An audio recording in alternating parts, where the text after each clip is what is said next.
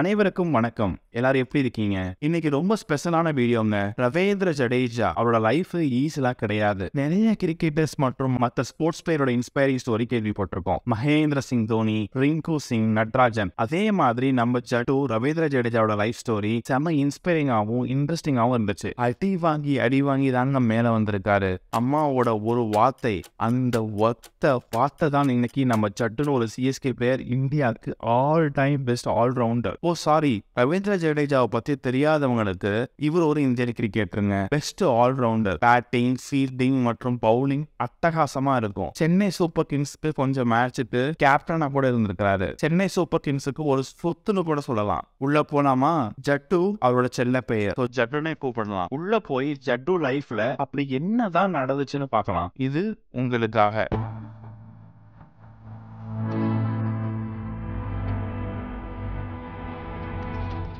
Ravindra ஜடேஜாவோட full name என்ன தெரியுங்களா? ரவீந்திர சிங் அனில் சிங் ஜடேஜா. இவர் டிசம்பர் ஆறு ஆயிரத்தி தொள்ளாயிரத்தி எண்பத்தெட்டில் குஜராத்தில் ஜாம்நகர் டிஸ்ட்ரிக்டில் பிறந்தார். அங்கே இருந்தவங்கன்னா ஒரே எக்ஸைட்மெண்ட் ஒரு நியூ ஃபேமிலி மெம்பர் வர போகிறாங்க குழந்தை பிறக்க போகுது அப்படின்ட்டு. யாருக்கு தெரியும்? அந்த குழந்தை இன்னைக்கு இந்தியாவோட லாஸ்ட் டிகேட் அதாவது கடைசியா ஒரு பத்து பதினஞ்சு வருஷத்துக்கு ஒரு பெஸ்ட் ஆல்ரவுண்டர் ஒரு இன்டர்நேஷனல் யூத் ஐகான் அப்படின்னே சொல்லலாம். அவர் பிறந்தது ஒரு ராஜ்கோட் ஃபேமிலி ஒரு பெரிய மன்னர் குடும்பம். அப்புறம் என்னப்பா அவருக்கு ப்ராப்ளம் மன்னர் குடும்பத்துல தான் பிறந்திருக்காரு. கிரிக்கெட் விளையாட ஒரு நல்ல காஸ்ட்லி கோச்சிங் கிடைச்சிருக்கும். பேட் பால் வாங்க ஈஸியாக காசு இருந்திருக்கும். ஸ்டடீஸ் பத்தி கவலை இல்ல. கோச்சிங் போறதுக்கு கார் எல்லாமே இருந்திருக்கும்ல. அப்படி நாம நினைச்சோம்னா அது அப்படி நினைக்கல அதுக்கு அப்படியே ஆப்போசிட் ஆப்போசிட்டாக நடந்திருக்கு. ஃப்ரீ கோச்சிங்கில் தான் கிரிக்கெட்டே கற்றுக்கிட்டாரு பேட் பால் வாங்க காசே கிடையாது. இது மாதிரி நிறைய ஸ்ட்ரகிள்ஸோட தான் மேலே வந்திருக்காரு.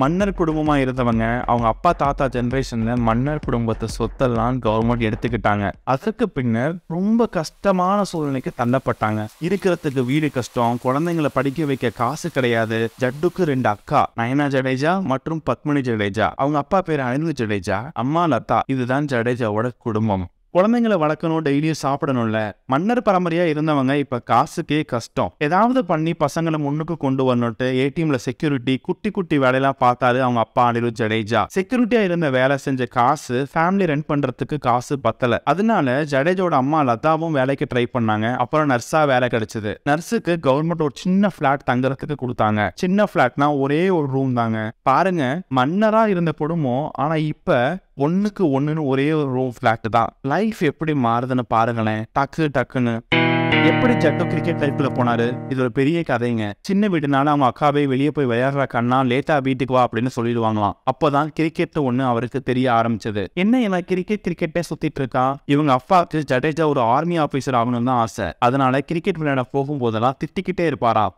அப்பானா ரொம்ப ஸ்ட்ரிக்ட் பயம் அப்படின்னு ஜடேஜா சொல்லியிருக்காரு. அவங்க அக்காங்களுக்கும் நயனா ஜடேஜா மற்றும் பத்மினி ஜடேஜாவுக்கும் அப்பானா ரொம்ப பயம். ஆனா ஜடேஜாக்கு அவங்க அம்மானா அப்படி பிடிக்குமா? அவங்க அம்மா கிட்ட தான் எல்லாமே ஷேர் பண்ணிப்பாரு. அவங்க அம்மா கிட்ட தான் படுத்து தூங்குவாரு. அப்படி ஒரு நாள் படுத்து தூங்கும்போது தெரிய வந்துச்சு ஜடேஜாக்கு தூக்கத்தில் நடக்கிற பழக்கம் இருக்கான் அது மட்டும் இல்ல தூக்கத்துல நிறைய பேசுவாராம். ஒரு டைம் என்னதான் பேசலாம் இவன் அப்படின்னு கவனிக்கும் போது நீ அங்க நின்று நீ இங்க வா அங்க வா அப்படின்னு சொல்லுவாராம். அதாவது தூக்கத்திலேயே கேப்டன்ஷிப் பண்ணிட்டு இருக்காராம். ஒரு நாள் ரெண்டு நாள் பார்த்திருக்காங்க. ஆனா டெய்லியும் தூக்கத்தில் நடக்கிற பழக்கம் இருந்திருக்கு. அப்ப தூக்கத்தில் நடக்கிற பழக்கம் இருந்த ஒரு சாதாரண பையன் இன்னைக்கு இந்தியாவோட ராக் ஸ்டார் அவங்க அம்மா ஏற்கனவே நொந்து போயிருக்காங்க மன்னர் குடும்பத்துல இருந்து சாதாரண குடும்பத்துக்கு வந்திருக்காங்க ரொம்ப கஷ்டப்பட்டுட்டு இருக்காங்க. அப்படி இருக்கிறச்ச அவன் பையனுக்கு தூக்கத்தில் நடக்கிற பழக்கம் இருக்கு அப்படின்னா எப்படி இருக்கும்? டாக்டர் கிட்ட போய் காமிச்சிருக்காங்க இவருக்கு தூக்கத்தில் நடக்கிற பழக்கம் இருக்குன்ட்டு டாக்டர் சொல்லிட்டாரு. விளையாட வைங்க காலையில. அதனால டயர்லயே நைட்டு தூங்க ஆரம்பிச்சிருவான்ட்டு. இவர் விளையாடிட்டு இந்த கிரிக்கெட் இப்ப அம்மாவும் அக்காவும் சப்போர்ட் பண்ண ஆரம்பிச்சிட்டாங்க. போய் கிரிக்கெட் விளையாடுனே சொல்ல ஆரம்பிச்சிட்டாங்க. அவங்க அக்கா நயனா ஜடேஜா சைக்கிள்ல டெய்லியும் ஜடேஜாவை பிக்கப் பண்ணி பக்கத்துல இருக்க கிரவுண்டு கொண்டு போய் விட்டுட்டு வந்துருவாங்க. ஜடேஜாக்கு அப்ப வயசு எட்டு தான் ஆனா அந்த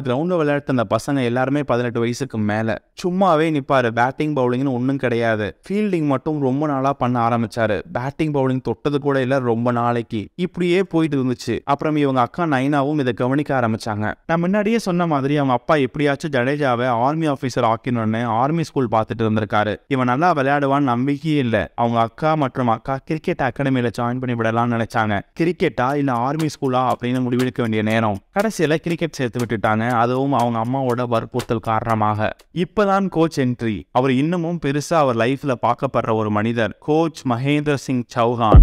ஜடேஜோட லைஃப்ல வந்தாரு. ஜாம் நகர்ல கிரிக்கெட் பங்களா அங்கதான் கிரிக்கெட் கோச்சிங்லாம் நடந்துச்சு. இந்த கோச் ஒரு ஸ்மால் டைம் கிரிக்கெட்டர் மேட்சை பார்த்து பார்த்து தான் கோச் ஆயிருக்காரு. ஃபுல் டைம்லாம் கிரிக்கெட் விளையாடுறது கிடையாது. ஆனா வெரி ஸ்ட்ரிக்ட் கோச்சிங்க டிசிப்ளின் ரொம்ப ரொம்ப முக்கியம் அப்படின்னு சொல்றவரு. லேட்டா வந்தா ஒரு நல்ல அறை வாங்கணும். கிரவுண்டை சுத்தி ஓடணும். அப்புறம் கிளவுஸை போடாம நிக்க வச்சு மத்தவங்கள ஸ்டிக் டு ஸ்டிக் பால போட வச்சு அதை பிடிக்க வைப்பாரு. த்ரூ அடிக்க சொல்வாராம் கிரிக்கெட் பங்களானா பெருசா பார்க்காதீங்க. ஒரு காலி கிரவுண்டு உளுந்தா மண்ணுல தேய்ச்சிட்டு போக வேண்டியதான் புல்லெல்லாம் கிடையாது. டெய்லியும் வீட்டுக்கு ஜடேஜா காயத்தோட தான் போவாரு. ஆனா என்ன? கிரிக்கெட் பங்களோட ஃப்ரீ கோச்சிங் கிரிக்கெட் கத்துக்க காசு கிடையாது. யாரும் டைம் பாஸ்க்கு கிரிக்கெட் அங்க கத்துக்க முடியாது. ரொம்ப கிரிக்கெட் மேல ஆசை ஆஸ்பிரேஷன் இருந்துச்சுன்னா தான் அங்க ரொம்ப நாள் தாக்கு பிடிக்க முடியும். கோச்சே சொல்லிட்டாருங்க இவனுக்கு உண்மையான இன்ட்ரெஸ்ட் இருந்துச்சுன்னா நான் பண்ற டிசிப்ளின் மெத்தட்ஸ்ல தாக்கு பிடிச்சி இருப்பான். இல்லைன்னா உங்க வீட்டுக்கு ஓடி வந்துருவான். அப்படின்னு சொல்லிட்டாரு. இப்படி சொன்னார்னா அவங்க பேரண்ட்ஸுக்கு அவங்க அக்காவுக்கு எப்படி இருந்திருக்கும். ஆனா ஜடேஜா தாக்க பிடிச்சி இருந்து சாதிச்சிருக்காரு. ஆனா நம்ம ஜட்டு இன்னும் தூக்கத்தில் நடக்கிற பழக்கம் போகல. ஜடேஜா ஒரு பெரிய ஃபாஸ்ட் பவுலர் ஆகணும்ட்டு ஆசை. ஃபாஸ்ட் பவுலிங் ட்ரை பண்ணாரு. கோச் சொல்லிட்டாரு டே அப்பா உனக்கு ஃபாஸ்ட் பவுலிங்லாம் செட் ஆகாது. ஸ்பின் ட்ரை பண்ணுன்னு அட்வைஸ் பண்ணாங்க. அங்க ஆரம்பிச்சதான் இந்த ஸ்பின் ஸ்டோரி இன்னைக்கு இந்தியாவோட பெரிய ஸ்பின் ஸ்டோரி அந்த கிரிக்கெட் பங்களோல பேட்டிங் பவுலிங் இம்பார்ட்டன்ஸ் கொடுக்கறத விட ஃபிட்னஸ் மற்றும் ஃபீல்டிங்க்கு தான் இம்பார்ட்டன்ஸ் அதிகம். ஜடேஜாவை அண்டர் ஆம் த்ரோ போட சொல்லுவாங்களாம். என்னடா இந்த கோச் டெய்லி என்ன அண்டர் ஆம் த்ரோவே போட சொன்னாங்கன்னு ஜடேஜா ரொம்ப ரொம்ப கஷ்டப்பட்டாராம். ஆனா இப்ப அவருக்கு ஜெட் ஸ்பீடுன்னு பேர் வாங்கி கொடுத்ததே இந்த அண்டர் ஆம் த்ரோ தானே.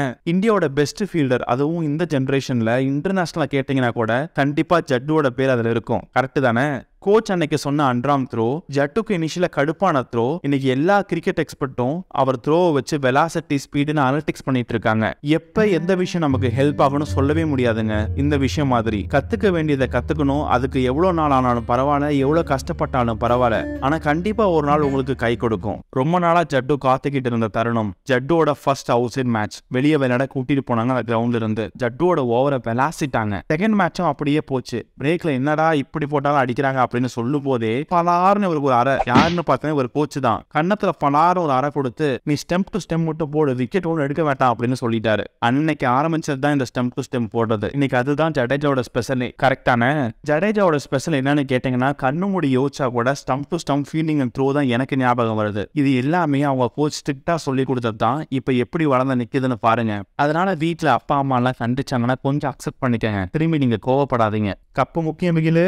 அந்த தூக்கத்தில் நடக்கிற பழக்கம் இருக்குன்னு சொன்னேன்ல அது என்ன ஆச்சு? எப்படி இது நின்றுச்சுன்னா இது மாதிரி மேட்சுக்கு விளையாடலாம் வெளியே போனாங்க. அப்போ ஒரு நாள் ஜடேஜா தூக்கத்தில் நடக்க ஆரம்பிச்சாரு. கோச் அதை பார்த்துட்டாரு. கோச் ஏ ஜட்டு என்னப்பா நடந்துட்டு இருக்கு? அப்படின்னு கேட்கும்போது ஆன்சரே வரல. கோச் பக்கத்துல போய் பலார ஒரு அறை அந்த அறையில அப்ப விட்டாரு ஜட்டு தூக்கத்தில் நடக்கிறது. இப்போ வரைக்கும் அந்த ப்ராப்ளமே இல்லை. சூப்பர்ல இப்பதான் ஜட்டுவோட லைஃப்ல ஒரு பெரிய டேர்னிங் பாயிண்ட் கிரிக்கெட்டே வேணாண்டா போங்கடான்னு போயிட்டாரு. அவங்க அம்மா ஒரு ஆக்சிடென்ட்ல இறந்துட்டாங்க. ஜட்டுக்கு அவங்க அம்மா தான் எல்லாமே.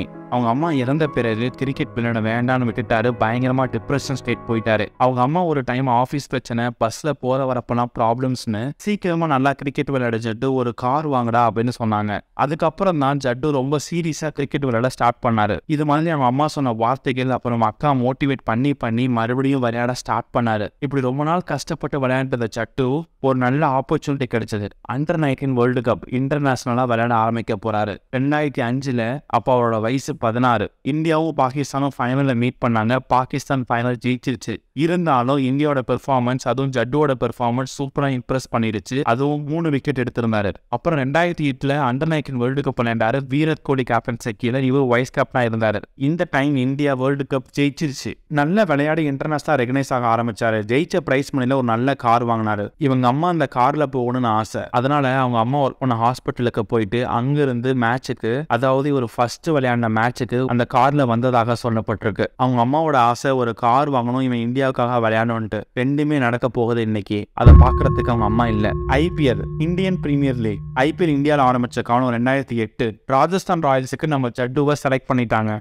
ஜட்டு கோச் கிட்ட போய் நான் எப்படி விளையாடுறது? எல்லாம் பெரிய பெரிய பிளேயர்ஸா இருக்காங்க. வெளிநாட்டுல இருந்து வந்திருக்காங்க. ஷான் வார்னே கில் கிறிஸ்ட் அப்புறம் சச்சினுக்கெல்லாம் பால் போடணும்னு புலம்பி தன்னாரா அவர் கோச்சு ஏண்டா ஜட்டு நீ எட்டு வயசு இருக்கும்போது பதினெட்டு வயசு பசங்க கூட போட்டி போட்ட இது முடியாதவனால என்ன நடந்தாலும் கெத்தா இருக்கணும் ஜட்டு அப்படின்னு சொன்னாராம். ஐபிஎல்ல ராஜஸ்தானோட ஃபர்ஸ்ட் கேப்டன் ஷேன் வார்ன் அவர் உள்ள வரும்போது ஒரு சின்ன பையன் கெத்தா கூலர் போட்டுக்கிட்டு சன்ஸ்கிரீன் முடி கொஞ்சம் அப்ப கேர்லியா தான் இருக்கும். அப்புறம் காரெல்லாம் தூக்கிக்கிட்டு கால் மேல கால் போட்டுட்டு உட்காந்துட்டு இருந்தாரு. வேற யாரு? நம்ம சட்டு தான். எல்லாருமே எக்ஸைட்மெண்ட் இருந்து ஹாய் சார் சொல்லும் போது நம்ம சட்டு மட்டும் எப்பவுமே கெத்து தாங்க. இதை பார்த்த ஷேன் வார்னே ராக் ஸ்டார்னு சொல்லியிருப்பாரு. அவர் சொன்னது இந்த பையனுக்கு நிறைய டேலண்ட் இருக்கு. கண்டிப்பா இந்தியாவுக்கு ஒரு பெரிய சொத்தா இருப்பான்னு சொல்லியிருப்பாரு. அன்றே கணித்தார் ஷேன் வார்னே. ரெண்டாயிரத்தி பன்னெண்டு நம்ம சென்னைக்குள்ள வந்தாரு நம்ம சட்டு. இருபது லட்சத்துக்கு ஒரு யங் பிளேயரை செலக்ட் பண்ணாங்க. ரொம்ப ரொம்ப இம்ப்ரெசிவா இருந்துச்சு. தோனி ஒரு யங் பிளேயரை எப்படியெல்லாம் ஷேப் பண்ணுவாருன்னு இத்தனை வருஷமா நம்ம பார்த்துட்டு இருக்கோம். அப்படி கிடைச்ச ஜட்டுவை செதுக்கி செதுக்கி ஒரு இன்டர்நேஷனல் பெஸ்ட் ஆல்ரவுண்டரா மாத்தி வச்சிருக்காரு. சென்னை சூப்பர் கிங்ஸுக்கு மட்டும் கிடையாது. இந்தியாக்காக விளையாட போகும்போது கூட தோனி நிறைய இடத்துல இவரை மோட்டிவேட் பண்ணிருக்காரு. இவர் மேல ட்ரஸ்ட் நிறைய வச்சிருக்காரு. சின்ன வயசுல மன்னர் குடும்பத்துல இருந்தாரு. அப்புறம் சாதாரண குடும்பத்துக்கு தள்ளப்பட்டாரு. சாப்பிட்றதுக்கே கஷ்டம். கிரிக்கெட் விளையாட ஆரம்பிச்சாரு. தூக்கத்தில் நடக்கிற வியாதி இருந்துச்சு. கோச்சிட்ட பலார் பலார்னு அற வாங்கியிருக்காரு. அவங்க அம்மா இறந்துட்டாங்க.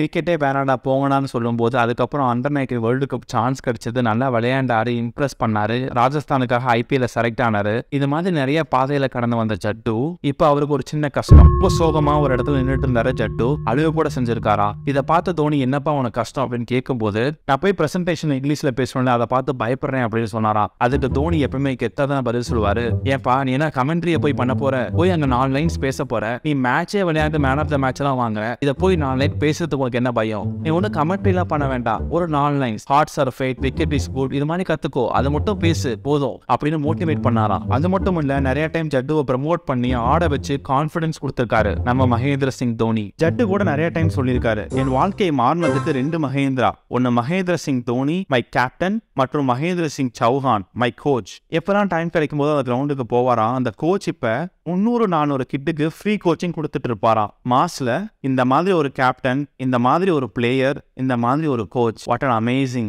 Jadeja நம்ம ஜட்டோட லைஃப் இன்ஸ்பிரேஷனில் லைஃப்பில் நிறைய திருப்பங்கள் இருக்கலாம். எப்படி கடந்து வரோம் அப்படின்னு சொல்கிறது தான் நம்ம வாழ்க்கை. உங்களுக்கு ஜட்டோட பிடிச்ச மூமெண்ட்ஸ் எது? அது மேட்சாக இருக்கலாம். இல்லை அவரோட லைஃப்பில் இப்போ நான் சொன்னதாக இருக்கலாம். எதுன்னு கமெண்ட்ஸ்ல லீவ் பண்ணுங்க. மறக்காமல் ஃப்ரெண்ட்ஸுக்கெல்லாம் ஷேர் பண்ணுங்க. ஏன்னா நமக்கு தோனி கதை தெரியும் நடராஜன் கதை தெரியும் ஆனால் ஜட்டுவோட இன்ஸ்பைரிங் கதை தெரியுமா? மறக்காமல் சப்ஸ்கிரைபும் பண்ணிடுங்க. இப்போ போடுறா பிஜிஎம் தூக்கி நின்னா பாரு. ஸ்டாப் ஸ்டாப் சாரி ஒன்று மட்டும் சொல்லிக்கிறேங்க. ஜடேஜா ஃபிஃப்டி ஹண்ட்ரட் அடிச்சதுக்கு அப்புறம் பேட்டை வால் மாதிரி வீசுவார் பார்த்துருக்கீங்களா? அது எதுக்கு தெரியுமா? அவர் ராஜ்கோட் ஃபேமிலியில ஒரு மன்னர் குடும்பத்துல இருந்தாரு. அதை சிம்பாலிக்கா ரெப்ரசென்ட் பண்றதுக்கு தான். பிஜிஎம்